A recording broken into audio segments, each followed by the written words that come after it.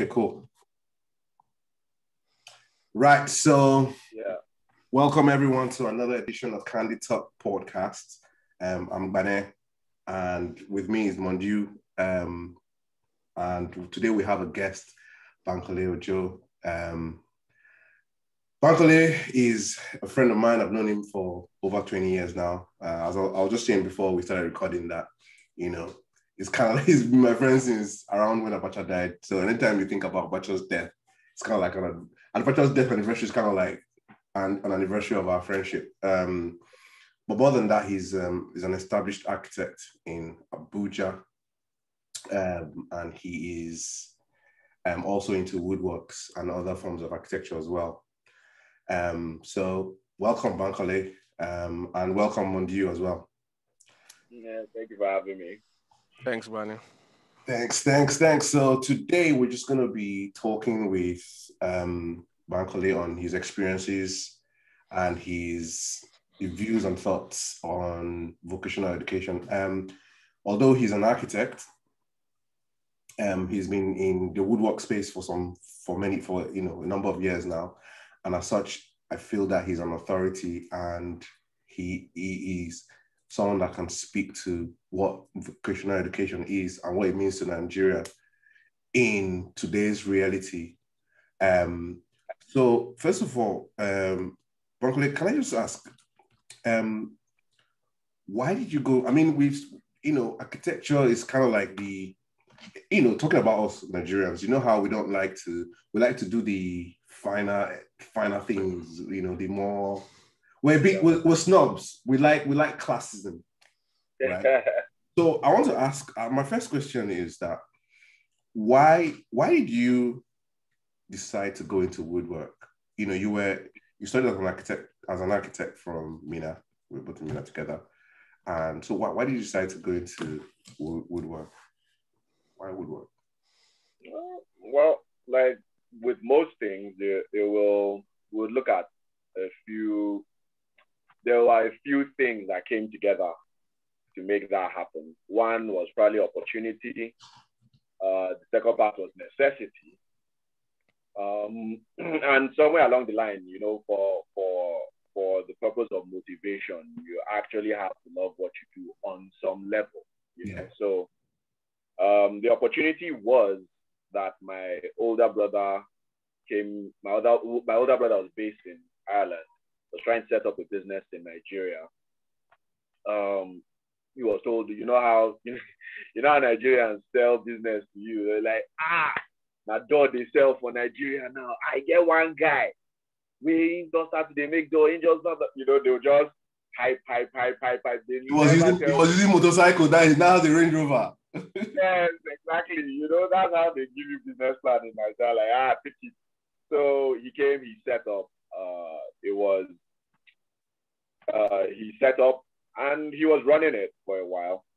But the partner he had, uh, he started suspecting that the partner he had wasn't exactly um, remitting, you know, the usual uh, partnership problems and all that.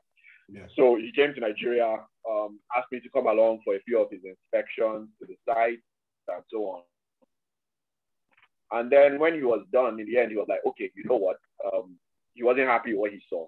He was like, okay, could I run, could I run the factory for a few, for a few months, about six months, and then let's see how it goes. So um, I did, and I quickly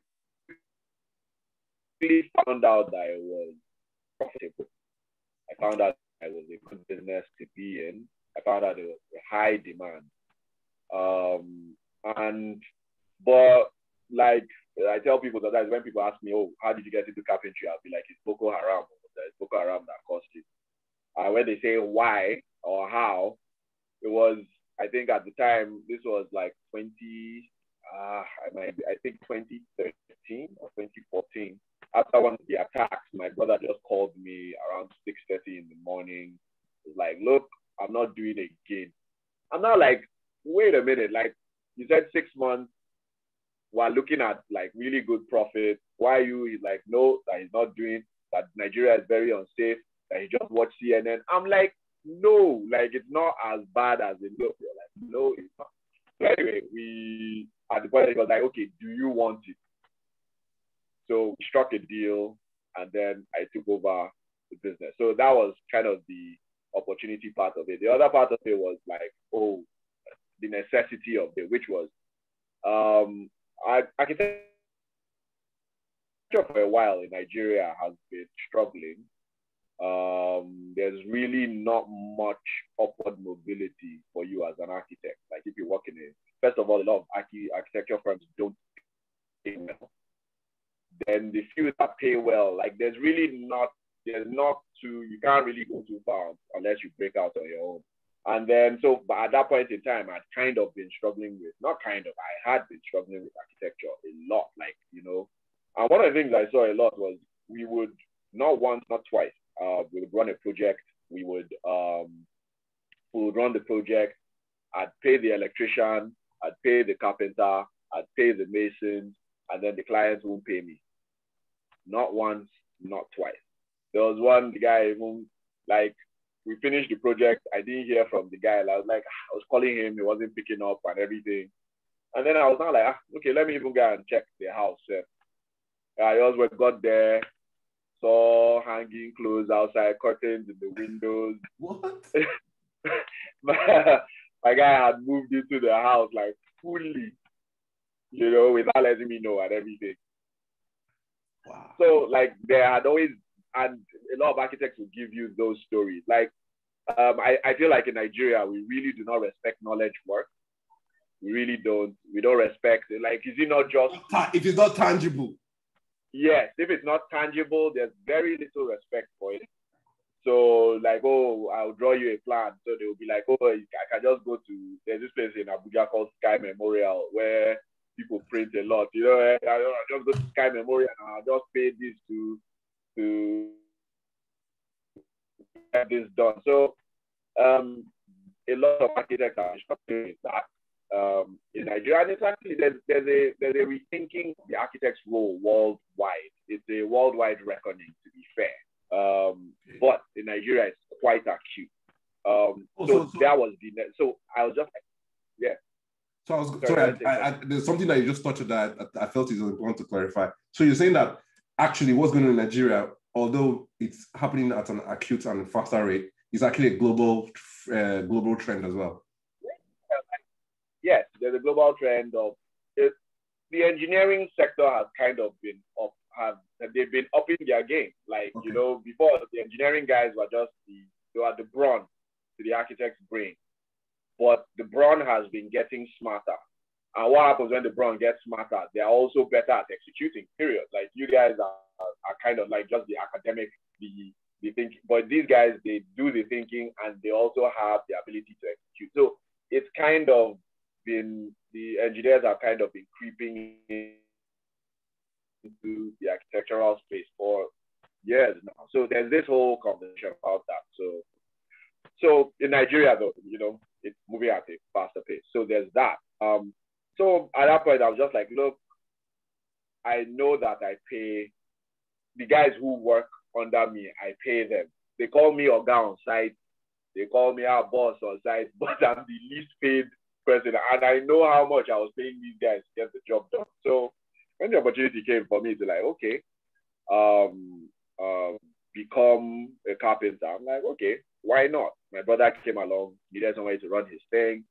Um, I wanted to, I also wanted to see whether I could find a new set of skills to yield, uh, to, to start making some money for myself. Um, and that was really, really, so that was really how uh, I got into it. And also there was a whole, uh, strategically, you know, sometimes you want to be big fish in the pond. Um, a lot of a lot of the the carpet here a lot of vocational skills. You have people who are taught informally. Um, some people who can't read, who can't write. Um, so I'm like, okay, I have that. I have my ability. I'm trained as an architect. I can design. I can. I have project management skills. So it's just a matter of now applying that to this space. So even for the first few years, I not not yet, maybe like a year and a half or so, I really didn't want to tell people that I was an architect. I just wanted to do the job and leave. But as people found out that I was an architect, then they started insisting, you know, started making more demands of my design experience or my project management experience to to add to whatever I was doing. You know, first of all, I just came to make your sofa. The next thing it's like, okay, so what do you think of this space? How can I use this space very better? Blah blah blah blah blah. Can you design something that can uh, that can work for me and so on and so forth. So it actually now actually even it now opened up more an opportunity for me in that architectural space. Kind of like uh, you kind of see why the why the engineering professions have kind of have kind of uh, gained as much ground as they have because that's kind of the path that now opened up my my my experience, uh, my opportunities as an architect. So so yeah, so that's basically that's basically how I got into it. Um, I'm still we're still doing it. Can't complain. Like it it wow. me well. Wow. So so essentially what you've done is you've you've done it the other you've you've moved the other way. You've um you're from an architect, you've gone into you've kind of like branched out into um more well carpentry is, is some kind of engineering, isn't it? You could call it wood engineering. Yeah, yeah, call it wood engineering. Yeah, we can call it wood engineering to make it, you know, make it sound nice, you know. Um, right. So that that's wow, that's I didn't even know. I actually honestly, genuinely didn't know about the whole architectural, you know, the, the trends globally and stuff like that. Um, I, I've actually always wondered about it to be honest, because I remember when I remember when I was in um, school, I think I had a conversation with one of our, you know him, you know, uh, one of our colleagues who was an architect as well, who used to say then that apparently there was there was this one of the world's most renowned designers who wasn't an architect.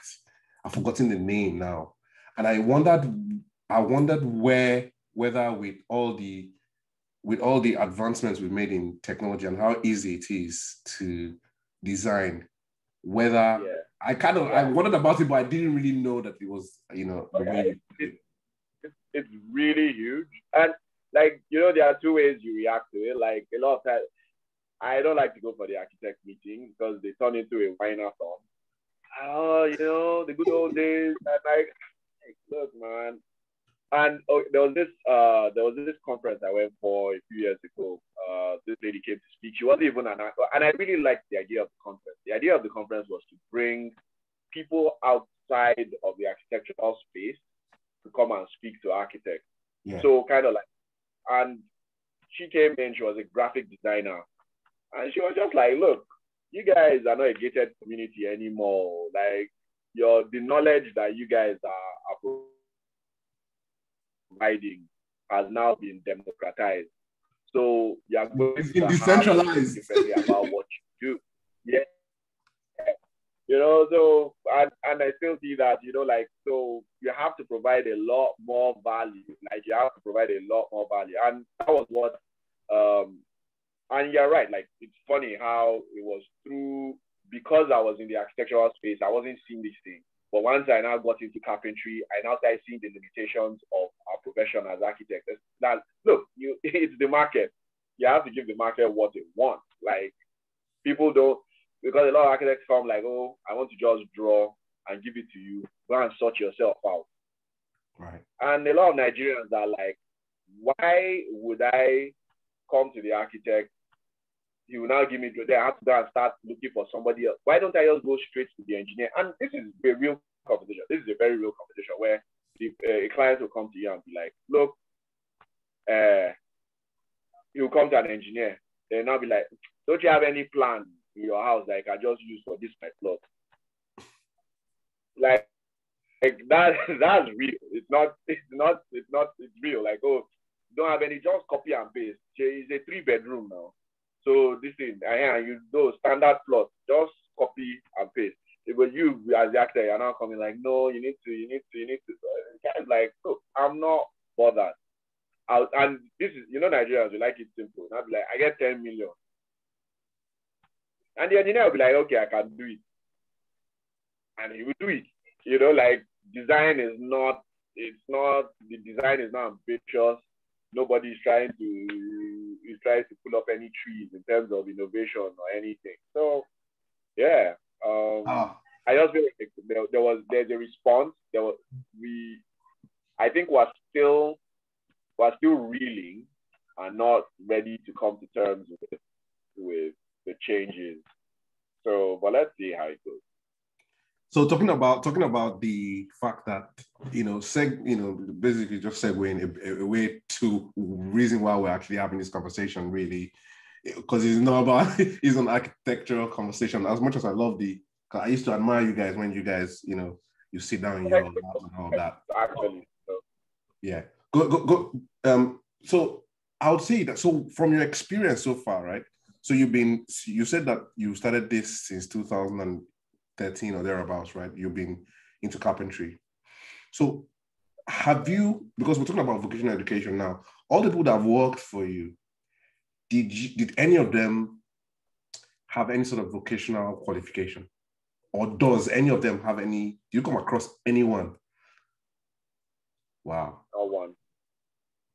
So since you've been... Well, uh, one of my like one of my electricians, one of my electricians, he went to a vocational school in Nasarawa. Um, he went to a vocational school in Nasarawa. Um, but carpenters, no. At best, what you would get is maybe um, a company is bringing in some new products. Okay. And and some people would and they would come and train a few people on how to use these products. So I have a plumber that's done that. I have um, an electrician that has done that. Um, even well, this is it, well, it doesn't work for me, but my mechanic too was part of was one of was part of that program. So that you see. Then these guys, uh, Peugeot in in in Kaduna, yeah, have been very very good with that their automobile, the automobile factory in Kaduna. They've been very, very like anybody will tell you, like no, well, I don't know the number, but a lot of people actually take their cars to Kaduna to fix rather than let them rather than fix them in Abuja. Well, wow. there's this really good program that was it ran about it ran about uh, I think six years ago for a while. So they were training they were training people. Um, the, they they partnered with the Nigerian with the Kaduna state government. I think was under this was under Makarfi. The first it was inaugurated under Makarfi. I can't remember the name of the program, but they trained a lot of mechanics, and those mechanics they moved, they come to Abuja. Some of them set up in Abuja. A lot of them still stayed in Kaduna. But you just find that if anybody will tell you you really want a good job done on your car, take it to Kaduna whether you're in uh, Abuja, whether you're in Jos, whether you're in Lokoja, take it to Kaduna. So it's mainly been, it's mainly been, it, there hasn't been any real support from the government schools. It's really been private uh, businesses, private, the private sector building out, uh, building out programs that teach, and they are quite specific. So maybe it would be, oh, there are these, there's this new line of of pipes and accessories that are going to be used in plumbing that are better than what we've used before. Okay, we're going to train a few guys in this. And from there, those guys kind of like take the, they learn that and then take it forward into and share it with the rest of their boys. And that's kind of how the, the, um, the knowledge gets passed down. But there's really no, wow. there's no real, there's no real structure. Yeah, there's no real structure because the, the, so you know the, so the reason so the reason why I asked that right? The reason why I asked this and Manju you can if you have any questions you can just let me know just tap and let me know yeah? Um, yeah yeah no no worries carry on. cool. So the reason why I asked this actually is because I wanted to I wanted to see from your experience there was a difference between you know the trained the formally trained um, people you had working for you especially as carpenters as against the people who just probably learned on the job. You know, I'm just trying to test out a theory in my head about because okay, okay.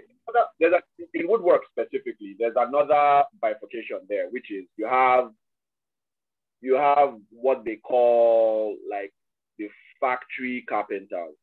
Okay. So these are the guys that work for the big for the big companies, for the big furniture companies. Then you have the other carpenters. Let's call them the street carpenters. Yeah. Those are the most common. Those are the ones that you find around. So, and uh, what I found is that there's actually a big gap between those two. Not necessarily a good one. it's not necessarily, you would expect that the factory carpenters would be better. But the factory carpenters are really, they work with the big machines. They are used to working within a structure. Once they are taken out of that structure, they struggle. In other words, they don't know how to use their initiative. They can't think around corners. They really struggle. They don't have the they don't have the industrial grade machines to work with. They don't have uh, you know they specialized and all that. So meanwhile, like for all you want to complain about with the street carpenters is they will always find a way to get things done. Like the, the way they would use a plank of wood to do things that you do with um, with a proper with a proper bridge and a rack or a jig in the wall in a factory in an industrial grade workshop, you would be shocked. Like they just find the way to they just find a way to get things done because they really can't afford to get more. So they really can't afford to get tools. They really can't afford to get uh, the the high high grade high grade equipment. They need to get stuff done. So they just find these really innovative ways to get things done. So one thing I quickly found out was, you know, a lot of times oh, I did this course at the time, like when I was when I was running the my brother's workshop. I did this course at the time where uh, I think it was set up by USAID on carpentry. And you know, like there's a different language in the market. There's a different language in the market, different processes, like everything is different. So I came with my theory and I just found quickly that, bruh, sit back and watch these guys. Watch these guys. Because in the end, you also have to look at this. We are talking 10,000 hours. These guys are putting in their 10,000 Mm. now. They are working, they are working, they're turning over work. Like, so are doing things quickly. Now, there's also the problem in which bad habits get entrenched because of, you know, bad habits get entrenched. But, you know, at, at the same time, there's so much to learn from them. It's just that it's really not codified. It hasn't been, they don't That's- write these things down. There's no, yeah, it's not being captured on video, nothing. You know, it's just, uh, you, you, you, get it, there, still the apprentice system. You know, one woman will bring her son and be like, well, yeah, I just also make him sit down here or make him learn walk. And the way they even teach, it's not like the most effective way of teaching. They'll just be like, well, yeah, just sit down there, they look or something, you know, or, you know, like it, the knowledge is not being passed properly. So yeah, like there was, for the longest time, there was a, there was a huge period of learning. For I first came in a bit honestly arrogant about like, yeah, yeah, yeah, I'm going to smash this. But there was just a gap between the things I wanted to do and the way it was being executed. Different language, like I said, like it's a different world. So that bifurcation between the, the factory carpenters tend to work within the more formal, and even then, a lot of the carpent, a lot of the factories here are run by the Lebanese. Okay. So they are not like anybody will tell you that it's uh, they aren't the some of the factories here, the stories that come out of this with the way they treat their people, they are not quite ready to share the information. Not like they are they are quite happy to share the information and so on. So um so yeah, so basically like it's that's that's the that there's a huge difference between those two. The factory guys, the street guys. There's a huge learning curve between both of them. Wow. So I'm, I'm just um this this is really just there's something that you said right that really struck me. You said when you finished your course from USA USID, you or US well USA and when you Yeah. USA USID USAID, whichever, yeah. USAID whichever way. When you finished your course there, you said you wanted to bring in that course you went to bring your knowledge, your theory, your theoretical knowledge, and you found out quickly that it wasn't working. That kind of like jumps at me because that's what I'm saying in essence is that does that mean then that vocational education shouldn't happen in your experience? Are you saying that we shouldn't try? Uh, I guess you kind of answered this question in a, bit towards the end of your explanation, but I'm still gonna I'm still going to ask it. So, from your experience, are you saying that vocational education should would improve the current state because if there's already like a culture, a, a different world of informally trained people, right? And they're 100 percent like yeah. ah, you got me riled up now. Like, look, here's the thing, right? Like, what the quickest way? I don't know. It, I, I'm, I'm probably influenced by the routes that are coming through. Yeah. Is, you know, but I've been, you get, I've, I've, I've been an architect and tried to do the knowledge, and then I've done this. And first of all, here's why I see. I feel like our young people take too long to become economically viable. Uh, middle class, anyway. Like you go to primary school, then you go to secondary school, then you go to university, and you don't know when you finish. By the time you're coming out of university, that means you are not economically viable until you are in, at best, your early 20s, or if not mid 20s, late 20s. You know, like I went to Minna now, I had uh, two extra years. I came out, I go out of school at 27. I got out of school at 27. I got an extra year because one lecturer was upset with me that I was doing a part-time job at was it Celtel at the time or Airtel? I can't remember what their name was. Whatever. One of their name changes. Yeah. I was, I was, I was facility manager for the office in I remember them in what they call it. yeah, and like the regional manager was showing up for an inspection. I had to run there and make sure everything was in place. While I was there, I missed the guy's test. So I now went back and went to beg him that look, I missed your test. So I'm sorry. Blah blah blah blah blah. He asked me why. In my naivete, I thought that if I tell him that look, oh, while I was doing this my extra year, it's not as if I'm being idle. I'm trying to do work. I now told him that ah, that I went to do I went to the office to do my work and work. And the guy was like, Oh, so I think that what they are doing in class is not important enough. He's not giving me the test and I'm failing his course. So I stayed another extra year. So like, you know, a lot of our youth are stretched out. They, they this guy like before you start becoming economically viable, it's too long. And meanwhile, when I now enter this space, I'm seeing 13 year old boys supporting their family. You know, they're supporting their family, 14, 15 years, 16 years old. They are guys that, look, they've already built their houses at 22, 23. It's not, it's not going to be the best house, but you're working with your hands and you're pulling in the money. So there might be another discussion about uh, about financial education and how to use the money that is coming in. That's another that's another thing. But the money is coming in. And me, with the amount keep about oh Nigeria has a huge youth population, it's a liability if they are not economic. There's a boy that lives around my house, I think. I already see him. He's, he's probably I don't know, it's probably like one or two or something. Like, and I see him single parent household, and I see the frustration and the energy that he still has to spend. He's still a dependent, you know, like, and I see it, and I'm like, ah, like this would, and it, but he's not. Even, the way it works is that he, our culture is he's not even going to, especially our our arrogant what is that something? That's that, what's that thing that somebody said on, on Twitter that I think we have the most arrogant, we have the we have the most the poorest.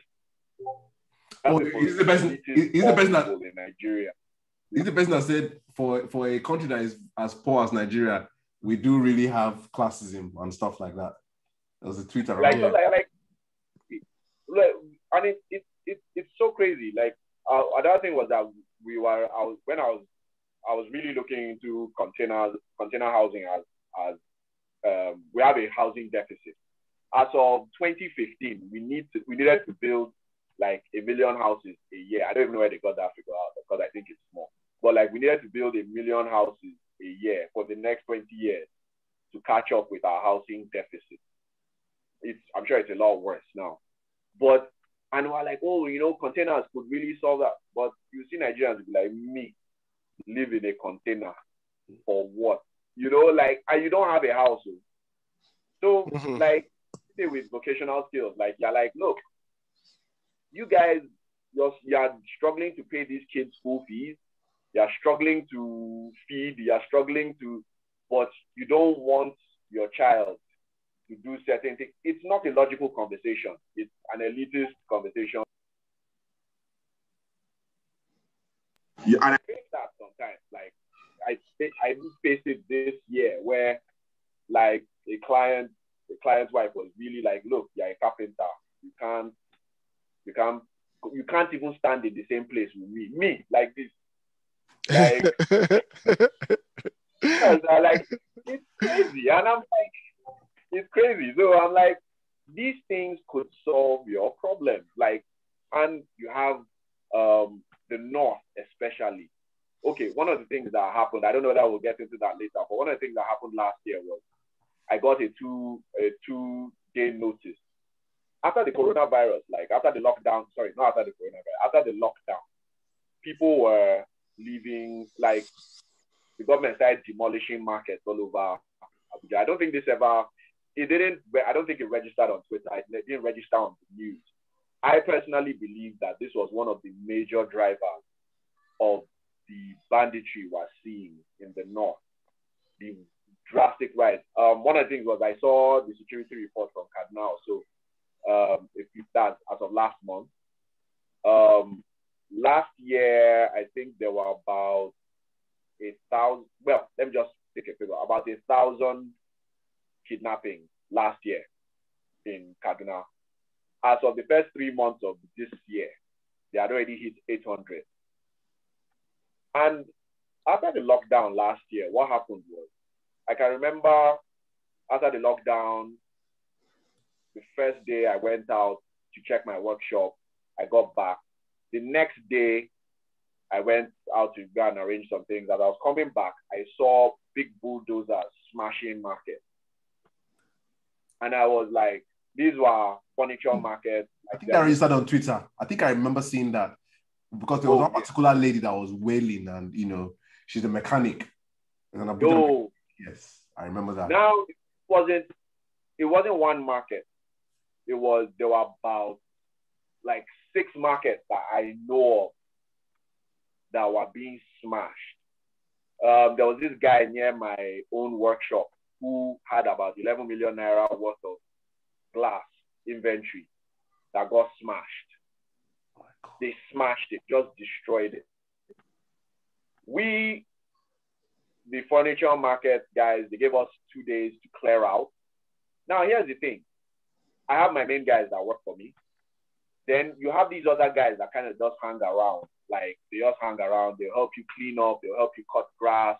They'll help you go and get diesel from the from the uh, from the filling station.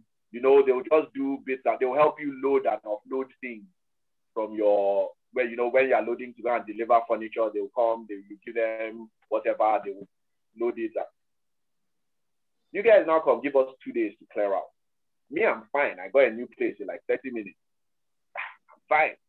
But here's the thing.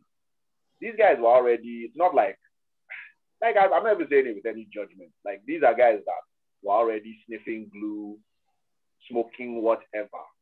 But they had kind of made the decision that, okay, maybe, maybe for this, because they believe in God or something, that they will be law abiding citizens.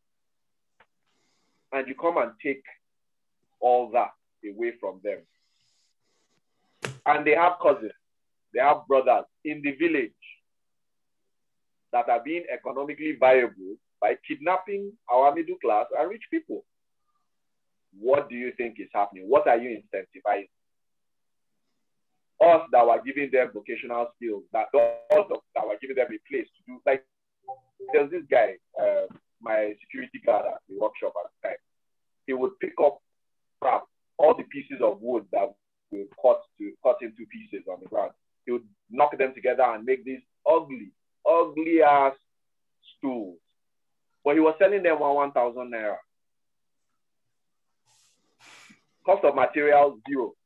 He was using our tools in the shop. Cost of equipment for him, zero. And I was paying him at the end of every month. And he was, he's fine. We now have to leave. What does he do?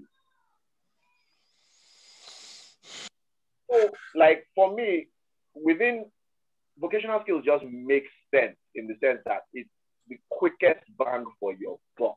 In two months, three months, I can turn a young man to into something that is earning money to at least feed himself. Mm. To at least feed himself. I even if it's that, oh look, okay, we're going to do this job, or oh, you come along for the installation, I'll pay you so so so so per day. She's valuable. Right now, a lot of people are not, they're just walking around doing very low level things that, and there's a lot of demand. We're bringing in what they call it, uh, tilers and upholsterers from Togo. Hmm. We're bringing them in from Togo. Togo to come and do what? It's even a sign of this, like, ah, uh, sorry, I've even done it too, so let me not be hypocritical about it. I'll be like, ah, no, no, no, my upholsterer is you, know? you, don't, you don't want to be like Trump. China, China, China and the hat is made in China.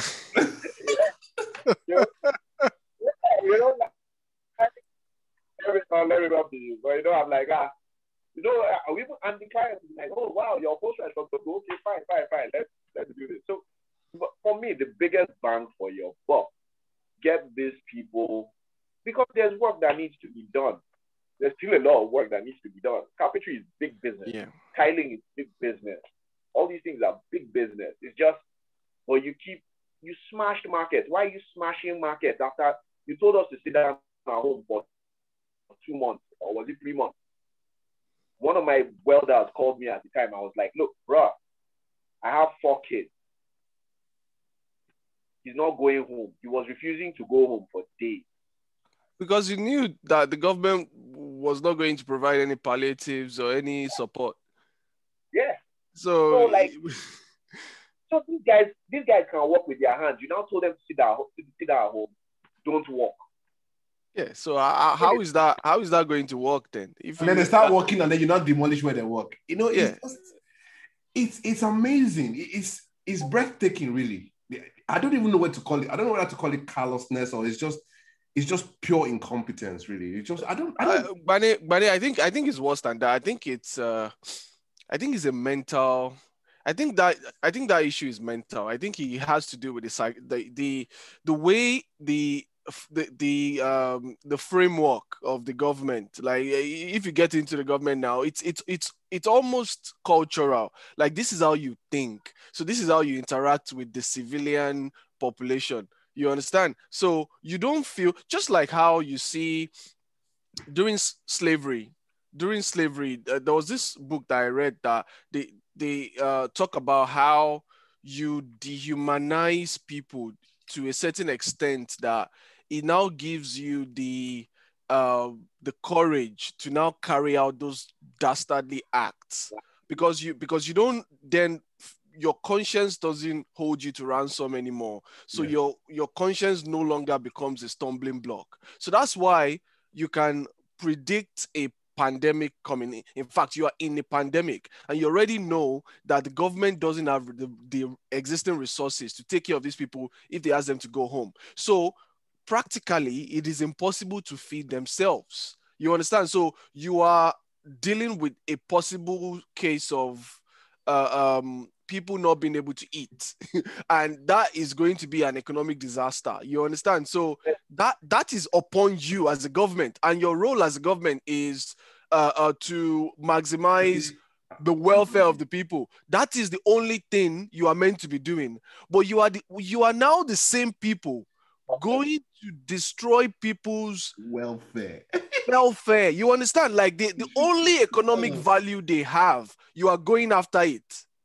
To, so to tell you that it goes be so if if you can change the psyche because it goes beyond just being callous or wicked or it's a mental thing and yeah. it, oh, you know, just like how the police a guy that can a guy that is struggling and is he can't feed his family and is tired of the country and he believes that the country is not just and they give him the opportunity to go and brutalize some Nigerians and he's happy to go and brutalize Nigerians. He's not even thinking that look, I'm I'm actually a victim of this system too. You, there's, you there's, there's, do it.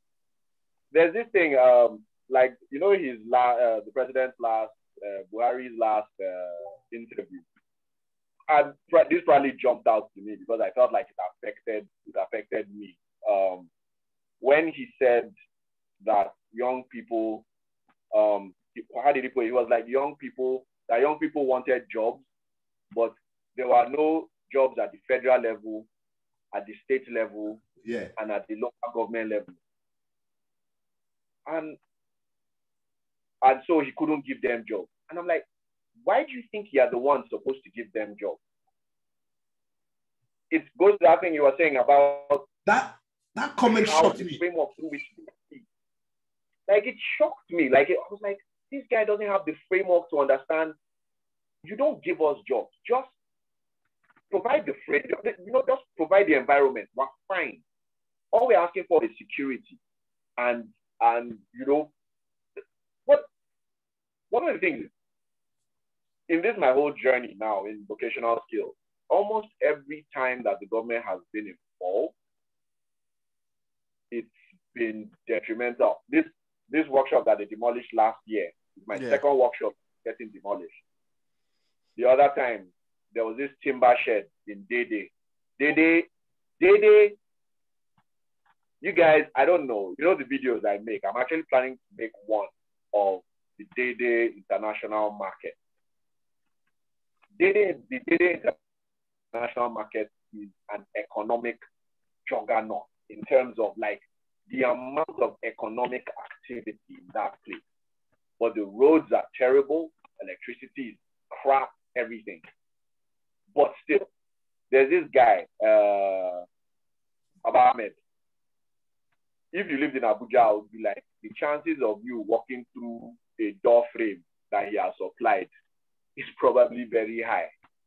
But what does he have? He has this shed with his 1976 mortise machine that he uses and he's cranking out these things and he's making money. Anyway, so these guys came, the timber shed, they're like, look, they're demolishing the timber shed. That on the Abuja master plan, there's a road that is supposed to pass here.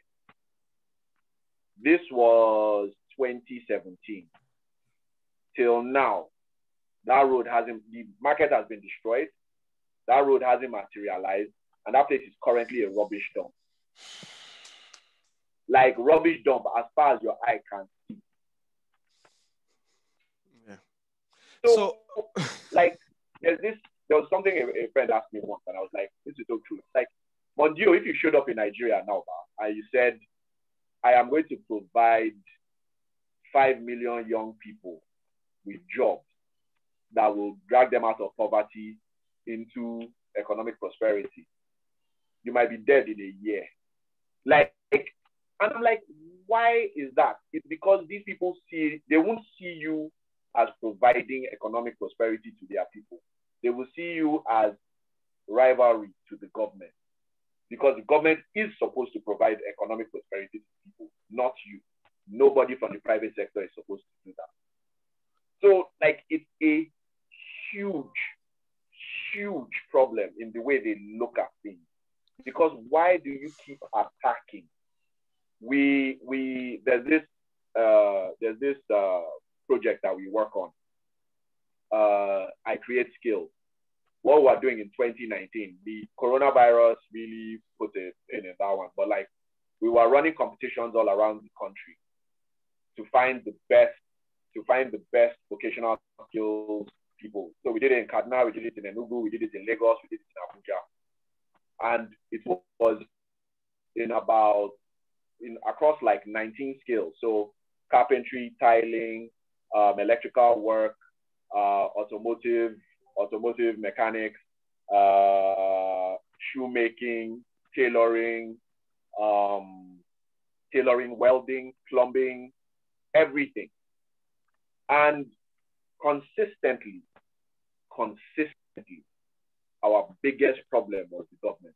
We had good support from companies like Bosch, from Raifeng, from DeWalt, from uh, Peugeot. The private sector was in. Was in. So, and part of the thing is that our approach was this, right? We also understand the fact that whether we like it or not, our middle class is our literati. Whatever the middle class will find cool, the rest of the nation will probably follow. Look at Uber. It's basically Kabu Kabu. Can you imagine before Uber came to Nigeria, if we said, oh yeah, you that you just finished as a as a graduate, come and be driving Kabu Kabu around Abuja, like the way they would look at you. But Uber kind of came in and made it cooler. And I live in Abuja, so one of the things I noticed was even the other taxi guys now upgraded their game. So that was kind of like what we're looking at. Like, okay, fine. How do we find do competitions? We did this competition around the corner. Let's let's find these guys because a lot of our winners ended up being graduates. So the guy who won tiling was graduated in economics from uh, what they call it, I think one Southern University. The guy who won carpentry graduated from the University of Agriculture in Osun State also. And like, so I like, okay, these guys, they will be able to, first of all, they will be able to make it look cooler. They'll be able to make the middle class buy in and they will be able to upgrade the level of the work, like upgrade the level of the work, upgrade the way people look at the work, and then maybe people will be able to buy in. Because look, it's I find it really ridiculous that you have the number of people that gather around DSTV offices every year to try and make it in for Big Brother. Where what is the probability of that?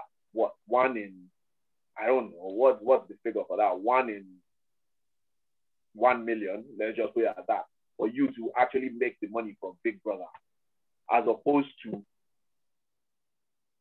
this thing that will within it, I can't say don't you don't have to wait to be if you are empowered. an apprenticeship. Sorry, back to lost. Yeah, you don't have to win to be empowered, and immediately you are paid. You are getting paid, and like you can't come and be an apprentice in somebody's shop and you at least you won't be able to have transport and food. It's not possible. Nobody does that. Like even amongst the carpentry community, they'll be like, ah, that your guy know they try for you. You mean say no give you money, go out. You mean say no give you money, chop. You're getting, I know it's not much, but at least you're getting even, you're paying money.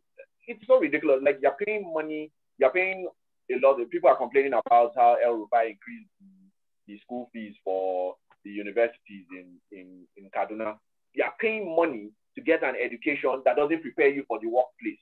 Mm. Yeah, and then, I, you know, guys here that are giving you money, like, it's not much, but it's better than this other this other bet that you are yeah. making. This is not a good bet. And actually, right now, actually have a question we need people like like yeah. No, sorry. No, finish. Finish your thoughts. Yeah, I'm listening. Okay, so you just talked about. No, I'm done. I'm just like I, am just frustrated by young community. Yeah. Okay, so you just talked about the um, educational system and how it takes too long to train a Nigerian to be ready for in fact there, are two two issues there. Even when we train right now i think back in the days we used to train well. Now we have quality issues in training. We don't really train well. But even with that it takes too long to train an average nigerian to be ready to you know come work for you for instance if you if you had the um, vacancies.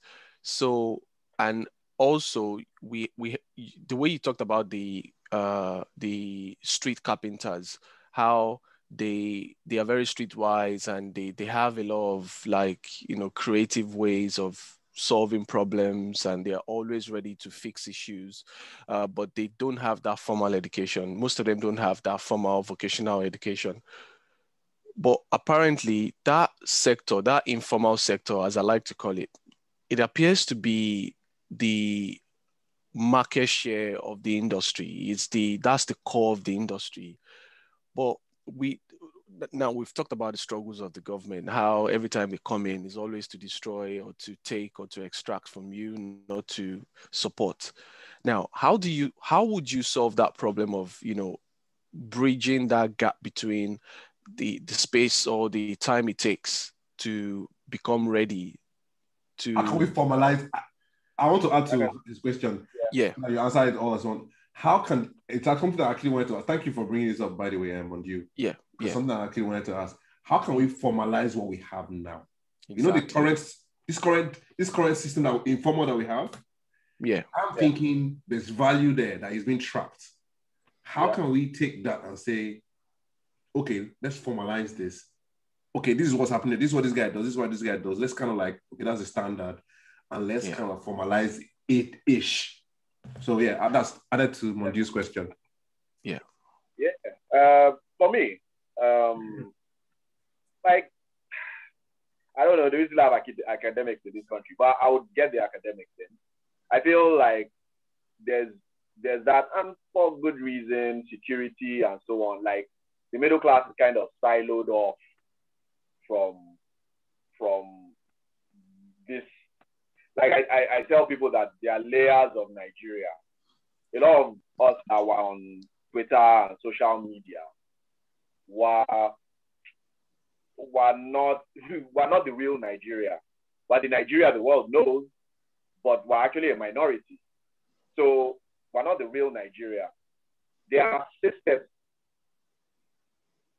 and it's arrogant to not realize that for this country to not have evolved into anarchy, there must be some sort of system that are in place because that's the only reason there's a, there's an alternative, whether it's banking system, whether it's training system, whether it's what the only thing that the only issue that we're having here is that it's not it's not being recorded.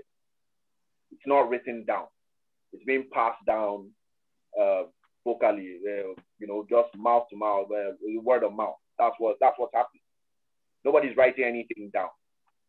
I actually insist, like every new guy that comes to work with me, I'm like, don't show up for a meeting without a pen and a pad. They'll be like, I know, I gotta get on for head. Mm-hmm. Write it down. I don't want to hear that. I don't want to hear that. Mm. And I just, so that like people can't read and write. So a lot of the information and like one of the my master carpenter, um actually it's just Nigeria is stress. Like so you there are things that are important but because you are dealing with so many urgent things, you can't now settle down and deal with important things. Like my master carpenter is one of the most knowledgeable people on natural wood. Uh, no, not one of the most. He's the most knowledgeable person on natural wood I have met. There might be other people for me that I've met. He's the most he's the most knowledgeable person on it. Nothing written.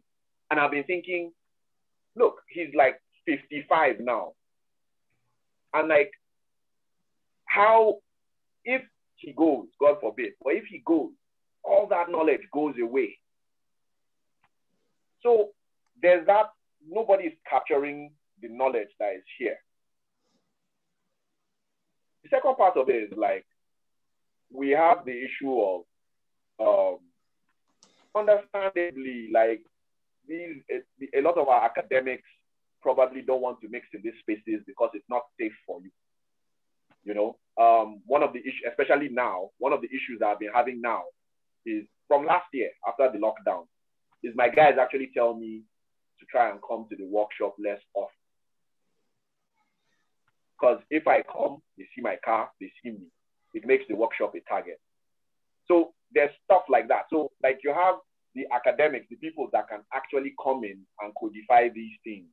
Like there's a you're, you're worried about, people are worried about entering the space. How are you going to get the guy that can actually do the proper research from his office in the university to come and sit down in the market for months on end? Who is even sponsoring the research?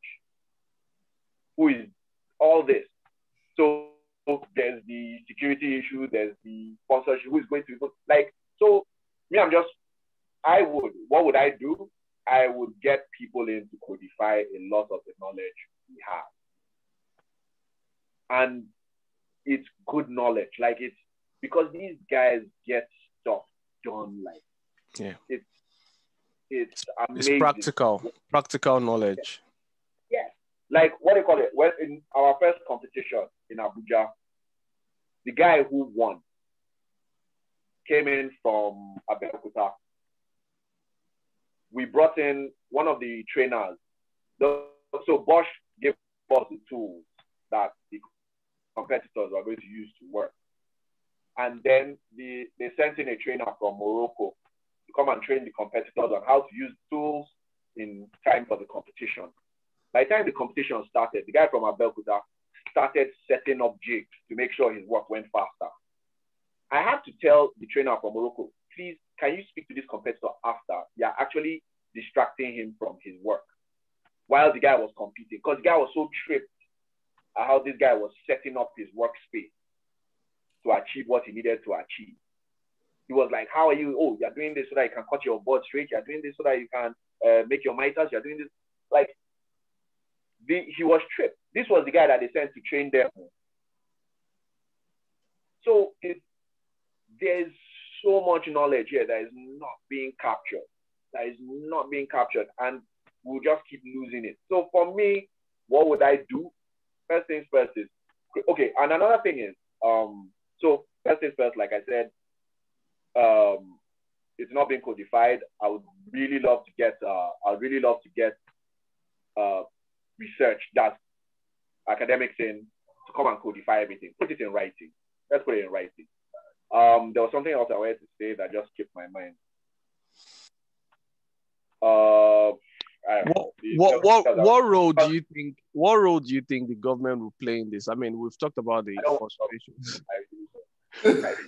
but, but, but Bankole, Bankole, this is this is absolutely insane because we want to talk about possible solutions to one of the most critical industries in the country and we have to think about bypassing the government. Like we have to be forced to not think about government intervention. Absolute madness. Let me tell you the story. Let me tell you guys the story, right?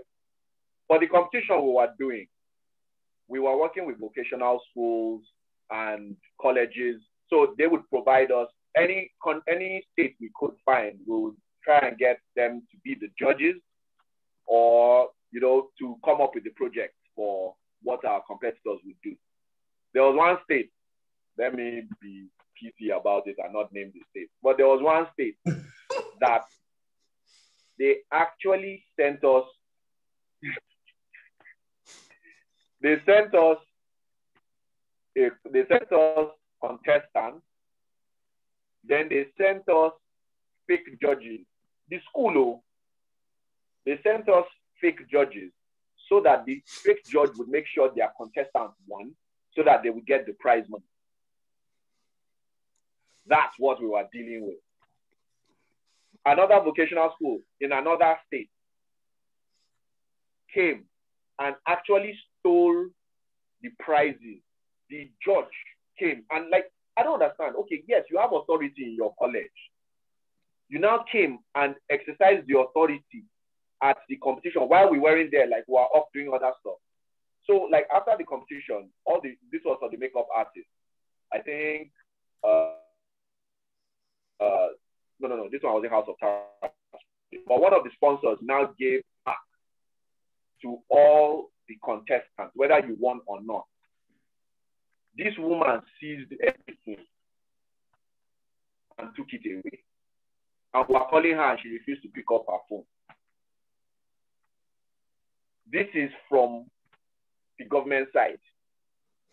So like here's what here's the other side of it. Like um, in Enugu, I'm not yet involved in the project at this point. But what we're doing is the the government is actually there's this really amazing guy. I'm trying to remember his name. He's the commissioner for SME in Enugu. So let me give him his props. He's been ready to work with us in the sense that he's actually paying private people to take on um, apprentices. So we give for the for the number of apprentices you take, we'll give you, we'll pay you, okay. and then every every three months, for every three months, we give you what they call it. We come and test the apprentices to make sure that they are learning things. And you know the good thing with vocational skills that you can't win. You either know it or you don't. You know, you can't write the answers on your arm. you can either make the word or you can't. So that is still early days. Let's see how that goes. Um, the first few months have been extremely promising. But yes, to your point is that look, it, it, uh, it's a the government can be a really powerful force for good. Our experience is that it hasn't. So that's why I'm very like, look, and it's not even that it just hasn't done its job.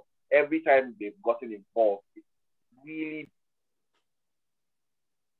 been disruptive, like extremely disruptive. And so we're like, look, if that's the case, another story. One of the guys I work with went to speak on vocational skills in Germany, I think Germany. And he he was there with a government official. He was there with a government official. And he was, this was in 2019 before the lockdown. Like I said, the lockdown really threw stuff off, but like the momentum was really good at that point. So Bosch was there, DeWalt was there, all the top power tool companies were the guys organizing this conference. And what they are, they are, here's the thing, they are looking to create a market in Nigeria, not out of the goodness of their heart, but so that they can sell their stuff. Like if you have a lot of uh, artisans here who can use power tools, that means what? You have a higher demand. So they are looking to sell their stuff. So anyway, so uh, the government uh, official comes up to give his presentation. And they are basically showing the CEOs of Bosch and DeWalt dilapidated toilets in their state. And quote unquote, one of the one of the government functionaries said, so you don't have to pay for everything. You can just pick one one toilet to renovate. And you know, we'll be very thankful.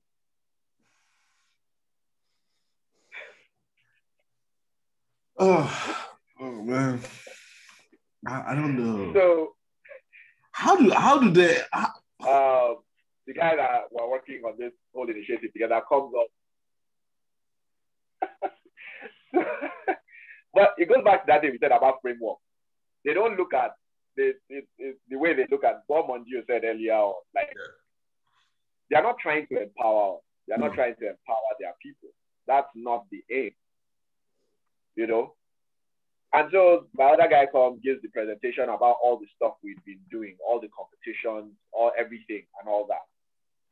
And there was not a Q&A after. It was a very testy Q&A. Because as far as the government functionaries were concerned, my guy had come to embarrass them. They couldn't see past that. And I watched the video and I told him something. I was like, he was he was feeling a bit bad and worried. He was feeling a bit bad and worried that look, it's going to become a problem for him when he gets back to Nigeria. I was like, from the dynamic I saw on the video, all those CEOs are not CEOs because they are stupid. They would see that the government is your problem. And it showed. After that, when they were having, well, after the whole event, the CEO of Festo, Festo came, was so the guy, my guy went to talk to the government you know, like was trying to like, you know, I'm not your enemy, I'm your friend, type of like try to calm things down a bit. And the CEO of Festo didn't exactly help when he walked up to both of them while they were talking. He didn't know what they were talking about, but he just walked up to them and he's like, you know, you have to make sure that he's on that the project he was talking to the government. He was a government minister. He was like, that project that was supposed to work with, work on or work on with you guys, he has to be part of it. He has to be part of it. Make it happen. Then he walks away. And my guy's like, oh my God. so, but you get like, that is the relationship we have with a lot of government officials. Like, we were trying to get one of them to come over for our event, one of the final of the competition in Lagos. Yeah. Like, they loaded us with a bill flight tickets, hotel, everything. Not support, they gave us a bill. Yeah. I, I, Yeah, it's it's you know what? it's- Yeah, you, it's very consistent. I, I, I don't across blame you board. for not wanting government involved. Yeah, it's, it's Yeah, a, of course. it's a, it's a drawdown. It's a drawdown. So um, right. I mean, we can sit down here and talk for forever, but man, this has been, this has been. Yeah, okay. Then let me not let me not be too. Now here's the thing. I actually so what I actually think is let's see how the Enugu project turns out. Let's see how the Enugu experiment turns out, right? I'm cautiously optimistic. I'm cautiously optimistic. What we hope for is that it actually, because here's what we're also proposing to the Enugu government, which is you guys are going to now have cheaper labor to execute your project.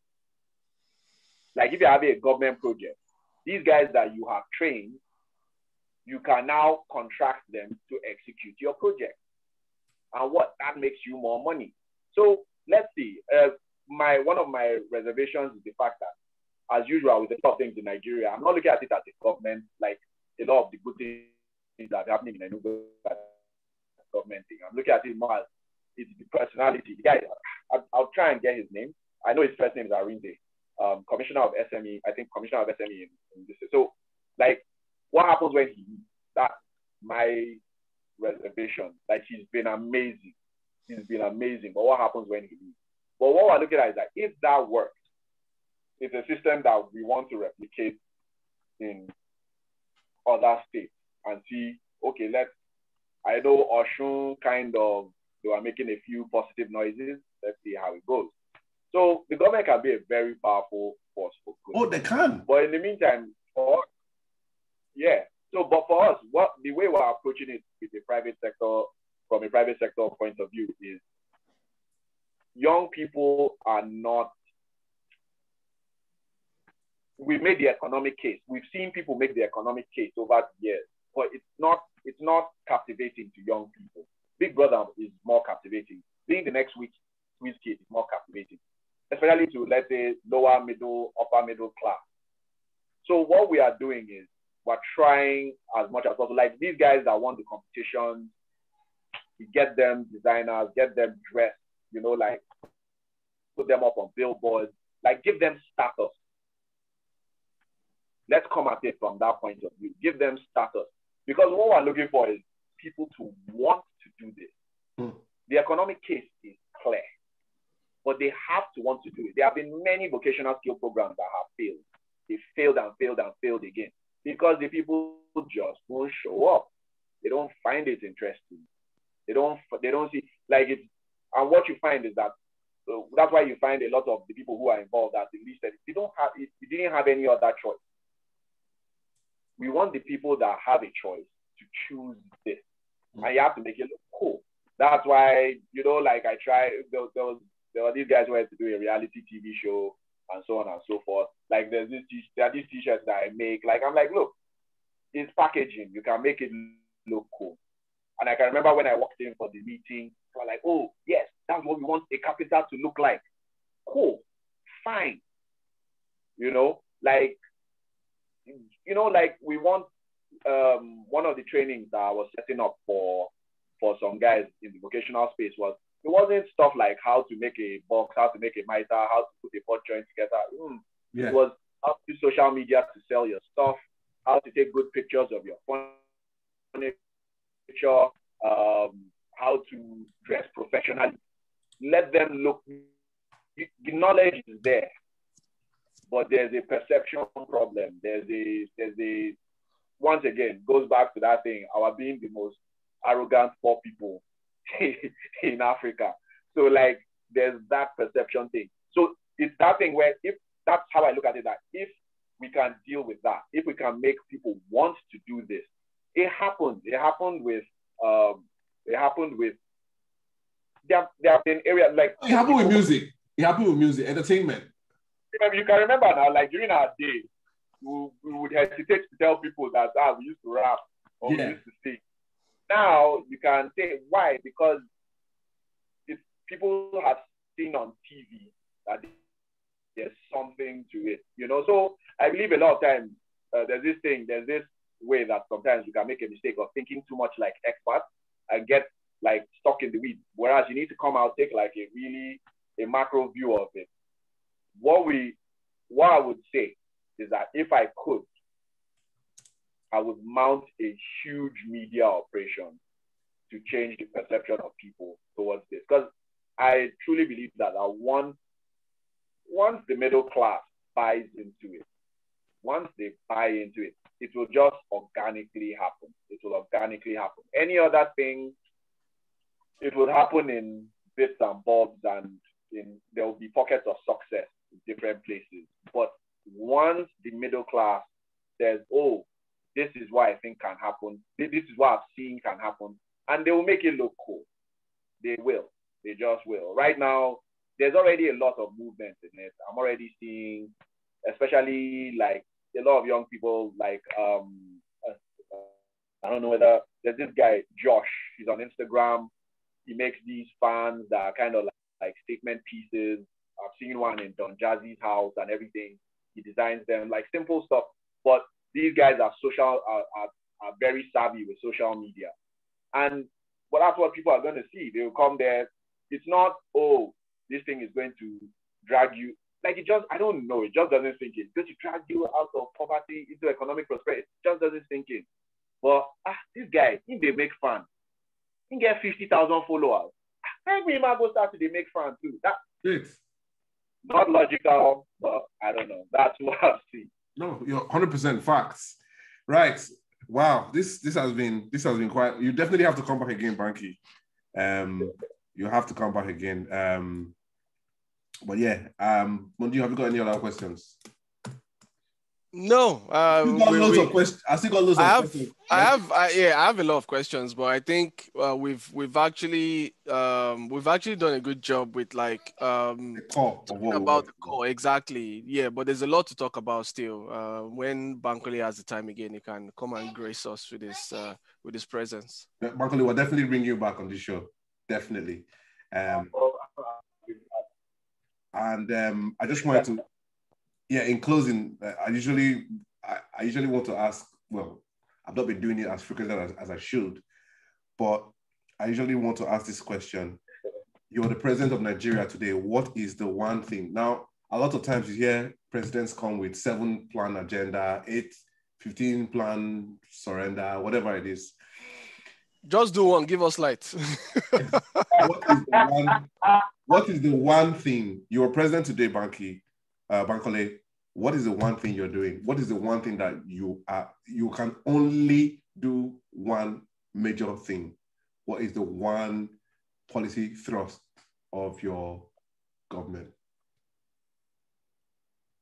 Uh, I here's what I think. I think I think in Nigeria we're I think we have like a discussion issue where we're working frameworks that don't apply. Like we're working with frameworks that don't work for us. Yeah. So what I would do, would do to order a, a study, an exhaustive study on the best way to incentivize Nigerians and then take it from there. Once I sort that out, like, okay, what makes Nigerians do what they do? We spoke now about status. Status is a huge thing. I don't, I don't think it's factored into a lot of things. we are proud. We are like we. I was, I was speaking with uh, a friend of mine who's Zimbabwe. Yeah, Zimbabwe, and she was just like, man, I was like, okay, fine, no level with me. What do you think about Nigeria? And she was like, man, you guys, uh, that we look at you guys like you guys are just arrogant. Like you guys just you believe your government, and I don't feel like that factored into how we think about our issue. You know, most of the time we just think about it economically. We just think about it. Uh, we just think about it like, oh, how would you benefit? Like I was, it's just a quick aside. Like, uh, saw how Jack tweeted that guy on Bitcoin, yeah. the Nigerian guy who wrote an open letter to Buhari I don't. This was just this morning or something. Yeah, yeah, yeah. I read that. He, he, the guy wrote an open letter about that, and Jack tweeted, Jack tweeted his letter, and I told my wife that Jack just buried this guy. Like the guy that deleted Buhari tweet is recommending something. it's not happening. Forget whatever economic dead. is. It's dead on arrival. you know, so I'm like, so for me, that's the first thing. Like, so that we can start building. Like one of the theories I have is, I don't think monthly salaries work with Nigeria. We're short term. So telling people to do their job for money that they might or might not get, knowing that we don't pay salaries regularly, for for money that they might or might not get in 28 to 30 days time maybe so for me it's just if I was president, the first thing I would do, and assuming that I'm going to be left to be president for the rest of the four years, is find out like, okay, what exactly is driving us, and then everything else comes after that. So that would be my that makes that a, would be the first. That makes a lot of sense to me. It makes a lot of sense.